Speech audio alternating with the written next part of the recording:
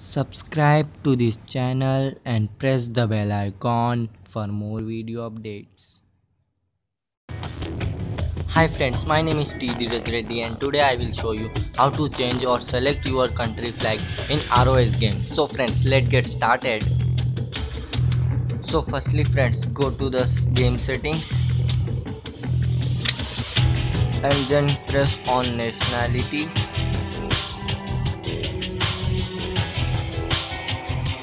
and select your country flag.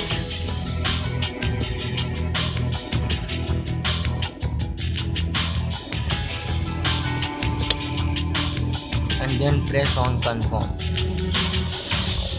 You can change your country flag free first time only. After that you paid 50 diamonds so thank you friends for watching this video. If you like this video please subscribe my youtube channel and press the bell icon for more video updates. Thank you friends